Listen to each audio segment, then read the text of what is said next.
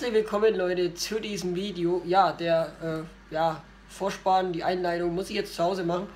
Hab zwar während der Fahrt gerade mit der GoPro aufgenommen, ich musste aber leider feststellen, dass das externe Mikrofon äh, so leise aufgenommen hat, dass man nur den Motorsound vom Fahrzeug gehört hat.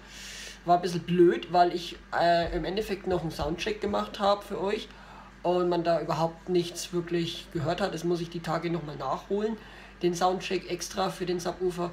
Und ja, was ich noch sagen möchte, der Subwoofer ist ungefähr zweieinhalb Jahre alt, äh, war vorher auch in meinem 316er schon verbaut, habe ihn jetzt wieder von meinem Bruder bekommen, den hat er nämlich in seinen 318 Ti drin gehabt. Und ja, den habe ich jetzt wieder bekommen, Stoff neu bezogen und wieder in mein Auto gebaut. Und ich würde jetzt sagen, so, äh, dass ich nicht lang rumwarf, äh, geht es jetzt ab zu dem eigentlichen Schnipsel, was ich gerade eben gedreht habe. Und los geht's. Viel Spaß dabei. So Leute, ähm, ich zeige euch jetzt das gute Stück im Kofferraum. Ihr seht zwar im Hintergrund, es ist zwar noch hell, aber wenn ich die Kamera auf dem Kofferraum halte, dann ist es finster. Und deswegen musste ich mir jetzt meine Videoleuchte holen und euch das präsentieren zu können.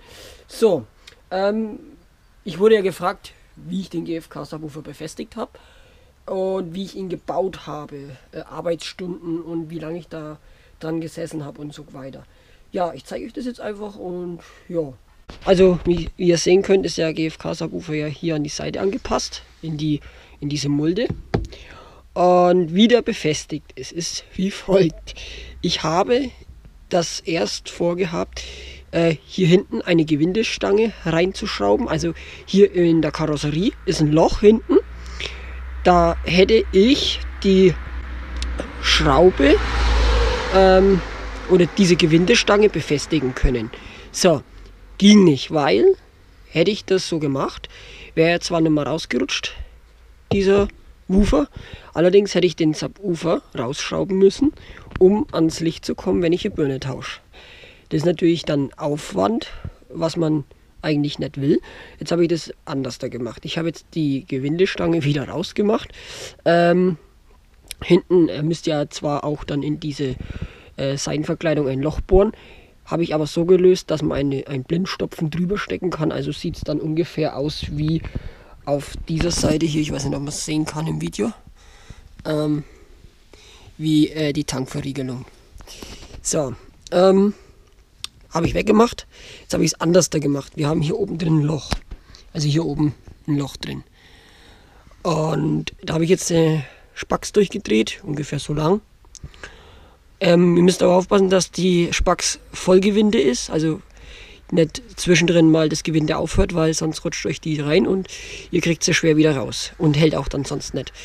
So, wenn ich die rausdrehe, kann ich den Subwoofer einfach nach vorne wegziehen. Somit hält er.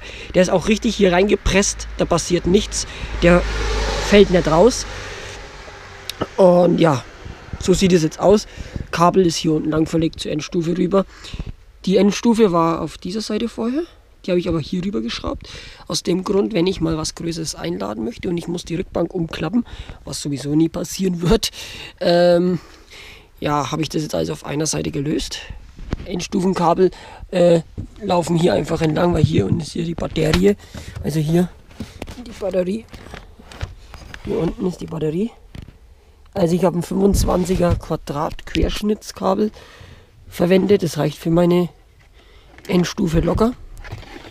Und ja, auf den Zug hin habe ich dann noch alles ein bisschen schön äh, gemacht. Ich kann euch das mal kurz zeigen, wie ich das gemacht habe.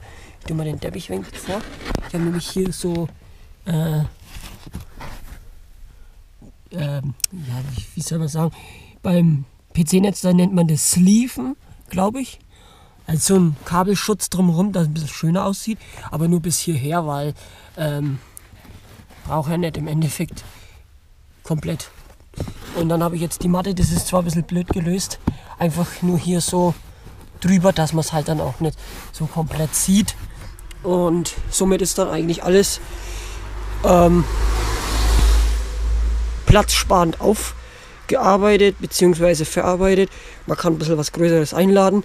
Allerdings wäre mir noch recht gewesen, wenn ich die Endstufe hier unten rein tun hätte können. Geht aber beim Sechszylinder nicht, da ist die Batterie. Beim Vierzylinder hatte ich sie da unten drin. Da war hier dann alles komplett frei. Äh, Bild kann ich euch ja mal reinblenden, wie es beim Vierzylinder aussah. Bei meinem Sechser. Das Bordwerkzeug muss ich noch ein bisschen äh, woanders hin verstauen. Mir noch eine Tasche oder so machen und dann unten mit reinlegen. Ja, ansonsten Arbeitsstunden, wie lange habe ich gebraucht? Ich habe drei Tage gebraucht. Ich musste ja die komplette Wand hier erstmal mit Folie oder mit Kreppband ausfüllen äh, bzw. abkleben, dass wenn ich das GFK da drüber klebe, dass ich mir nicht die Verkleidung versau. Ähm, habe ich einen Tag komplett gebraucht, dann mit den Feinarbeiten und Stoff beziehen und den ganzen Scheiß habe ich drei Tage gebraucht. Also in drei, drei Tagen ist das machbar. Ähm, ich würde euch empfehlen, sowas nicht im Winter zu machen, weil äh, es ist schweinekalt und ich würde solche Arbeiten sowieso nie mehr in der Wohnung bzw. im Keller machen, weil das sieht aus wie sonst was.